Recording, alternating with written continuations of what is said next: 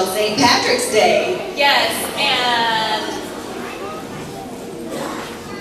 So, do you have something special you're doing for St. Patrick's Day?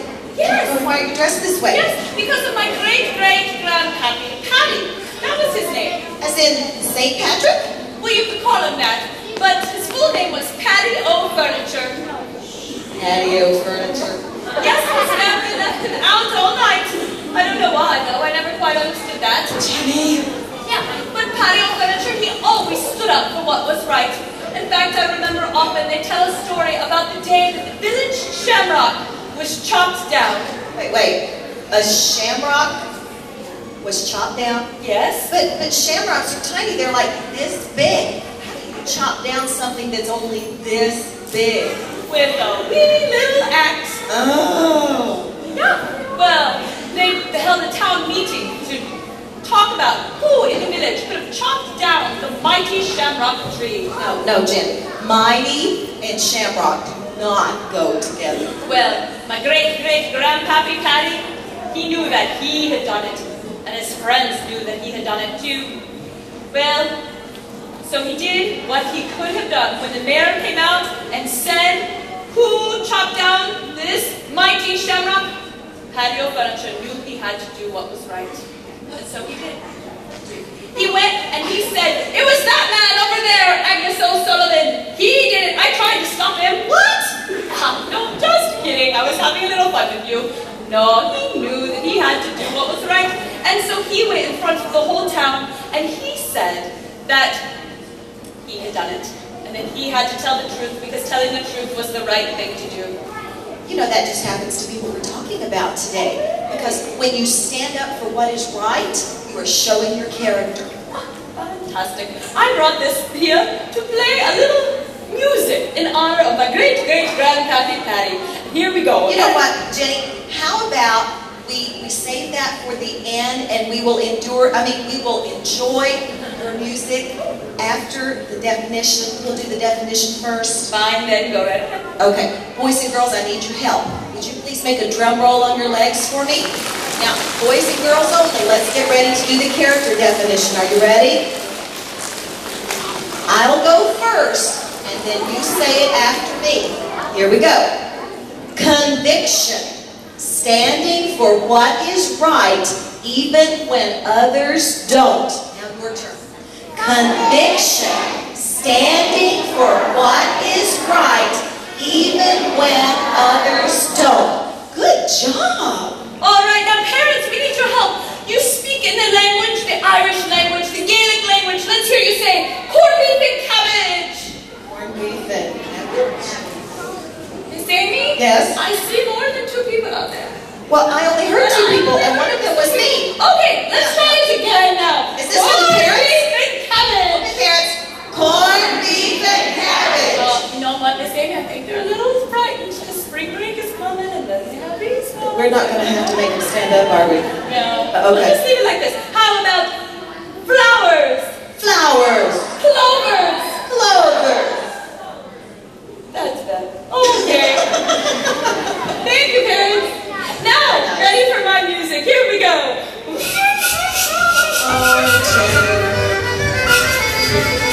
Come on. Here we go. I hope they can't hear this in the clubhouse.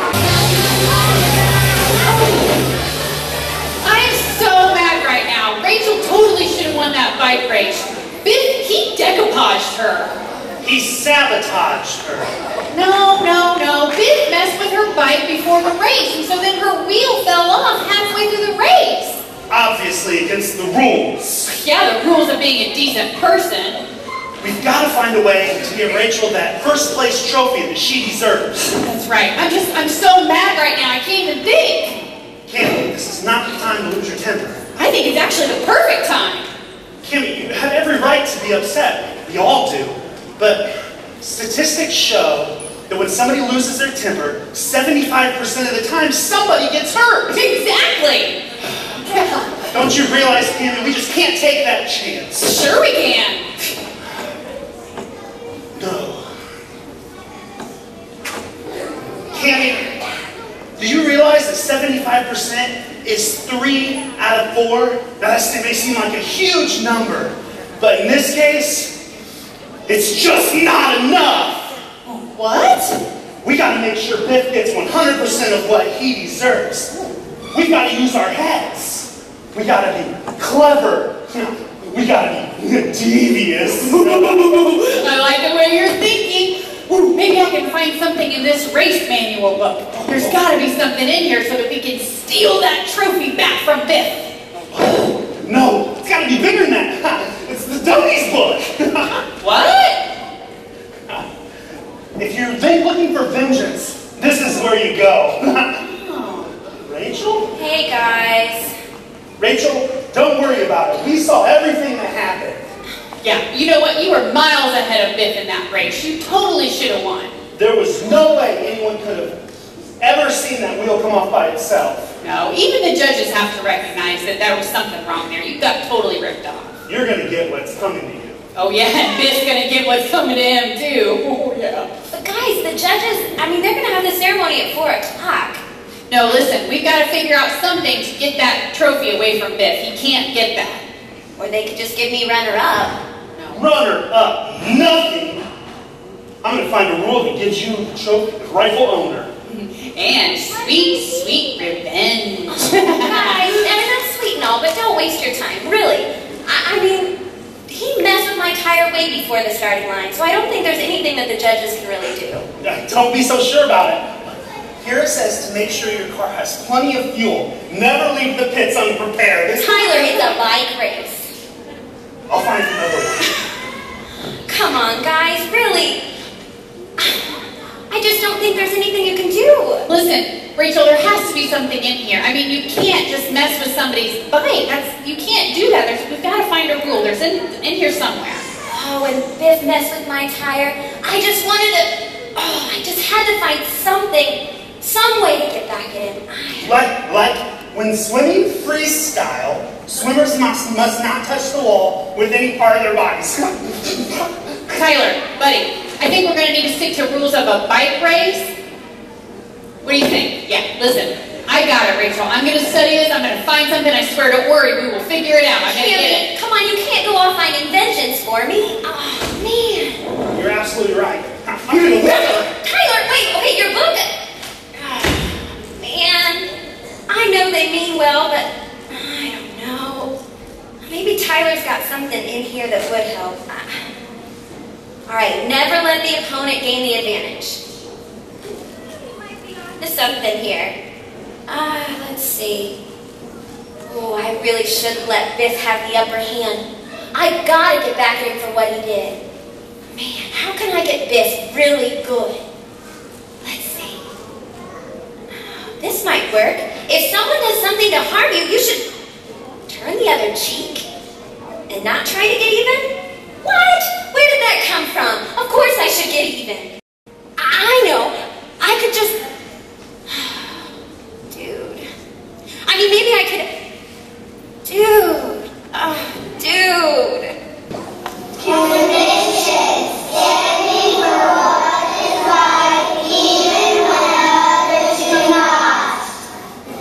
When I have something loud, I tell them to be quiet.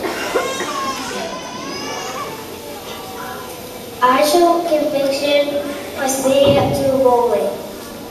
Once my brother was not cleaning when our mom asked him to, but I didn't even know she didn't ask me to. You can show conviction when other people in the class will be loud and you be quiet. Conviction is standing up for what is right.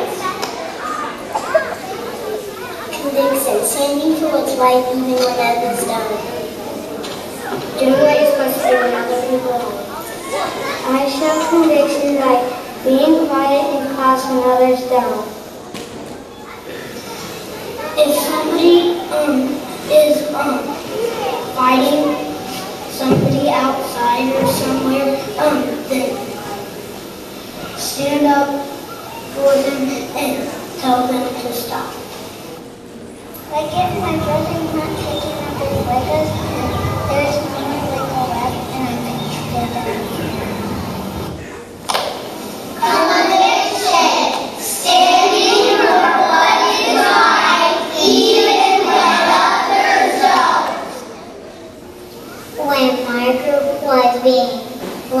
wasn't working, I was working and trying to get them to be quiet.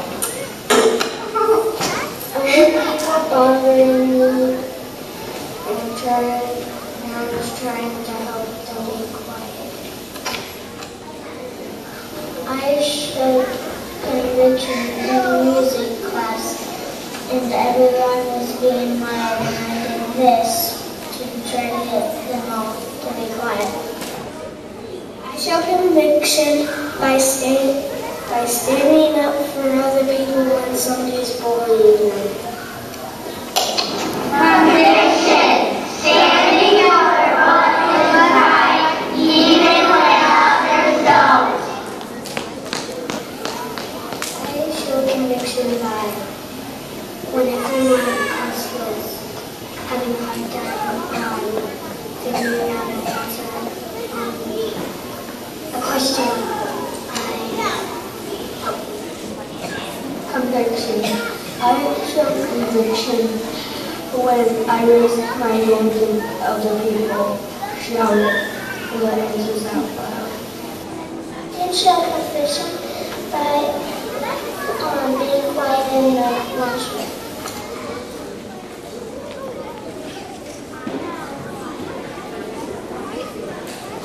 All right, Columbia. So basically, conviction is all about choosing to do right. Don't you think?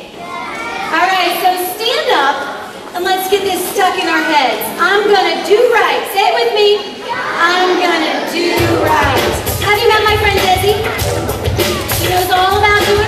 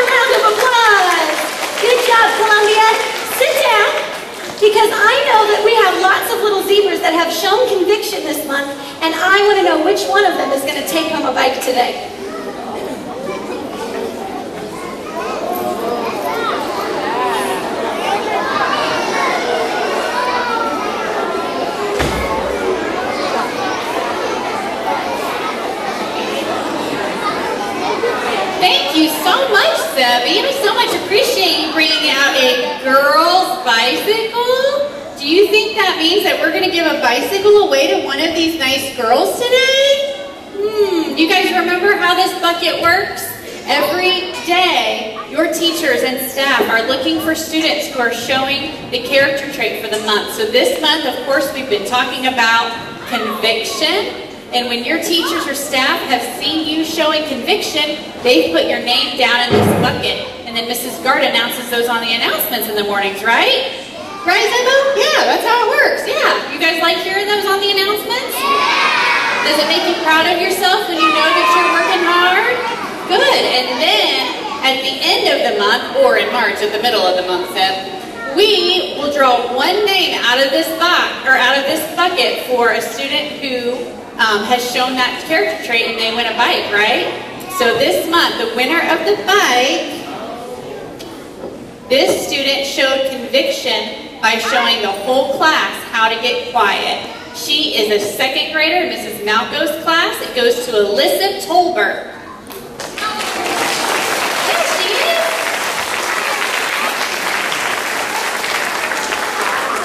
Alyssa, do you have a bicycle? Yeah. I'm very proud of you for showing conviction this month. Is it hard to be good when everybody else is kind of being naughty? Yeah. Well, I'm really proud of you. You did a good job. Do you like your bike? Yeah, What do you think? You gonna ride around town? All right, just be careful and wear a helmet, okay? All right.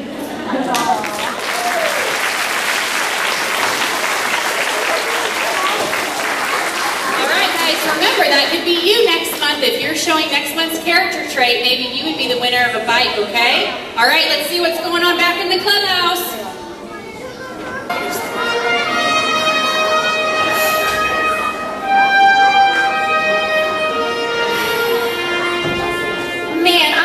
I gotta turn the other cheek, but this is just so hard. We found it! We did it! We did it! We did it! Don't you worry, Rach. We smote him What? hip and thigh. Well, guys, really, there's something that I need to tell you. No, listen, you don't need to tell us anything. It's what you need to tell the judges, okay? we have the proof right here to get you the trophy that's rightfully yours. Check it out. Look at it. Right here. Contestant Rules Section 4, Paragraph 2, Subsection 3A says, No contestant shall wear any clothing or accessories that can be interpreted as a sponsorship. No business or private person shall exchange goods or services for publicity gained in the Metro bike race. Booyah! But guys, Biff messed with my tire way before the starting line. I mean, he loosened the hub. I had to push the thing across the finish line. Rach. It has nothing to do with sponsorship. Rach, Rach, stay with us right here. Listen, listen carefully. We couldn't find anything in here that would disqualify him for messing with your bike, but what we did find was a rule that he broke that will disqualify him from the race. Then you get the trophy. Here's the proof. Tina's junkyard? Yeah, Biff and Tina had a deal. Biff wears the shirt and Tina gives him extra parts for his bike. And lets him play with her Rottweilers. Guys, I mean, I really appreciate this. we knew you would. We worked really hard on it, yeah. But guys, I mean, I've got to tell you that I just don't think this is a great idea. I, yeah, it's totally a great idea. We're gonna take Biff down. That's why we came down here to watch you take Biff down. yeah, you're totally gonna get that trophy. Yeah. I'm sure the mayor's gonna be here any second. I'm so nervous. All right, everyone, please take your seats. We're about to begin the annual Metro Bike Race award ceremony. I know you've all been waiting for this. Some of you wait for this all year long. Of course, we know there can only be one winner. And each year, we allow the best competitors from all over the area come here in the name of sportsmanship, fair play, and that is right with all our youth today. And so, without any further ado, we will begin the award ceremony by recognizing this year's runner-up. He's begun the winner every year until now. But I'm sure he's going to get something to say for all of us gathered here today, celebrating the best in sports. Please join me in congratulating Rachel Reynolds.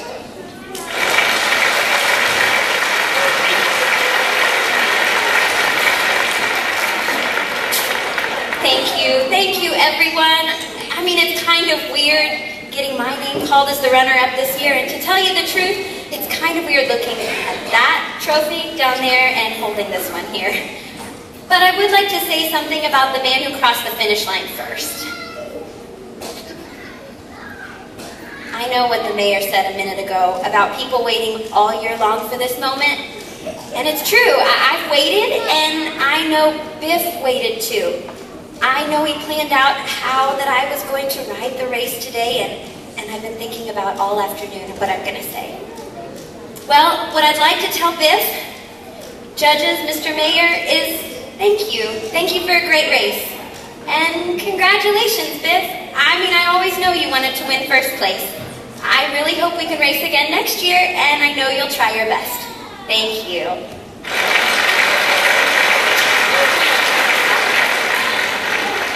Rachel, honey, I think you forgot something. The, the shirt.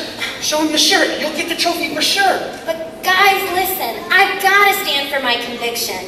I have to do what's right, even when others don't. What? Maybe she's not feeling well. We better check on her. Check on her. Well, guys, I thought for sure that Rachel was going to really throw the book at Biff on that one. Instead, she threw all of us for a loop, didn't she? Yeah, you know, it's kind of weird holding this trophy this year, but it's going to remind me more than just winning. It's also going to remind me that I used my conviction and I stood up for what was right, even when others didn't. So, so, so the shirt thing is out? it's out. Sorry, Tyler. Guys, I've got a couple questions for you. I was just thinking the other day, you know, sometimes we have situations where we have to stand for our conviction, so I need your help. Let's say you have a substitute teacher one day, all the other kids in your class, well, they're just causing a ruckus. They're just being so wild and loud. Could anybody tell me, what should I do if I'm using my conviction? What should I do? Let's see. Right here. What should I do? Should I be quiet or should I be loud? Be quiet. Oh, okay. So I've got to stand for what's right. You know, I was thinking the other day that there would be really nice to get a good grade on this test. And one of my good friends, she sits next to me, and, and I really thought if I just looked at her paper, and you know, the friend behind me was saying, yeah, do it, do it, just, just look. She always gets the good grades.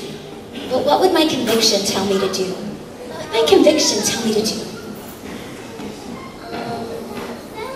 Do what's right. Do what's right. All right, you guys are getting the idea. Thank you so much. Conviction, let's say it one more time. Standing for what is right, even when others don't. Hey guys, we're really glad that you followed your convictions and took second place in the race. You know what time it is, Columbia? It's time to say goodbye. Stand up. Parents, we want to invite you to join us next month as we celebrate hope, which is recognizing that something good can come out of something bad. Friday, April 20th. Let's put those hands together and let's celebrate